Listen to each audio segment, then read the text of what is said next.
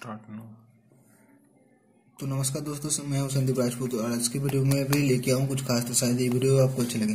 तो अब देख सकते हैं हमारे पास एक जियो का मोबाइल है, जो कि जियो वन का नाम पे चलता है। इसका मॉडल नंबर हम बैटरी खोल के देख लेंगे।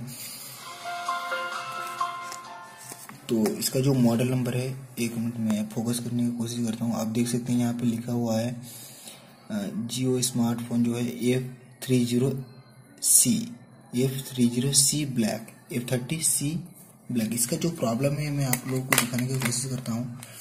ये शायद पासवर्ड या फिर कुछ भी लगा था वाइब डाटा फैक्ट्री सेट किया है या फिर कोई कुछ किया है इसका जो है ये बंद बता रहा है। मैं मोबाइल को मल्टीमीटर में भी लगा के देखा है यहाँ पे तो आप लोगों को दिखाने का कोशिश करता हूँ। थोड़ा सा नीचे करना। तो ये रीडिंग भी दिखाओ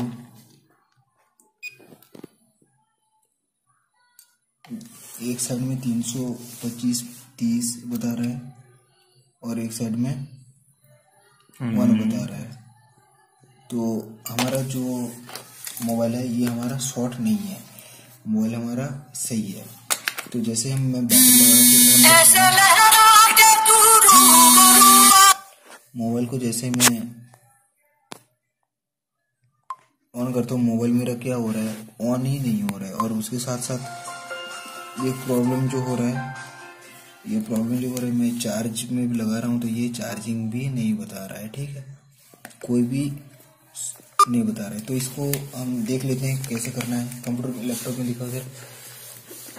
थोड़ा सा पास में से दिखाना। तो सबसे पहले आपको करना क्या होगा, मैं बता देता हूँ। एक मिनट हो जाइए। तो सबसे पहले आपको करना क्या होगा, आपके पास ये मोबाइल का जितना भी फ्लैश फ़ाइल, जो भी मैं डिस्क्रिप्शन में दूँगा, वो सारा का सारा आप लोग डाउनलोड कर लीजिएगा, ठीक है?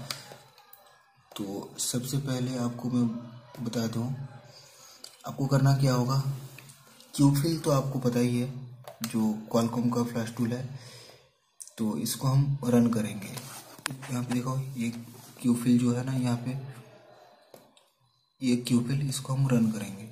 इसको रन करते ही सबसे पहले हमारा जो फ़ाइल है, जो फ्लैश फ़ाइल है, वो हम सिलेक्ट कर लेंगे। वो हमारा, ये जो जियो वाला फोल्डर है ना, यहाँ पे मैं रखा है एफ़ थर्टी का नाम पे, ठीक है? आप लोग भी रख लीजिए। लेकिन उसके पहले आपके पास जो ड्राइवर होगा ना ड्राइवर आप लोग ज़रूर इंस्टॉल कर लीजिएगा, ठीक है? नहीं तो ये नहीं पकड़ेगा।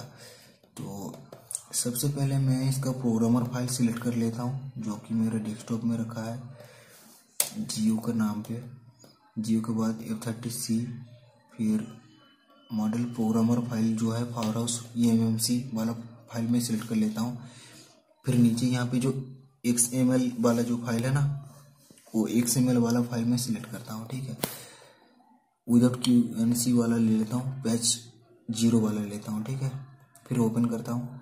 फिर मोबाइल को बैटरी खोलना, फिर बैटरी को लगा देना और अभी इसका जो बोर्ड की क्या है वॉल्यूम डाउन और वॉल्यूम अप दोनों को एक साथ दबा के रखना, तभी ये कनेक्ट होगा, ठीक है? यहाँ पे हमारा क्यू डी लोडर बताएगा।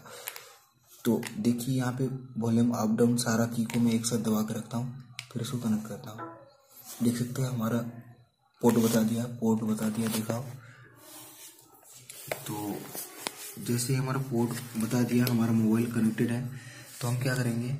ये जो डाउनलोड वाला बटन है, हम यहाँ पे क्लिक करेंगे। जैसे हम डाउनलोड वाला बटन पे क्लिक करते हैं तो हमारा डाउनलोडिंग चालू हो जाता है, ठीक है? देख सकते हैं हमारा डाउनलोडिंग चालू है। तो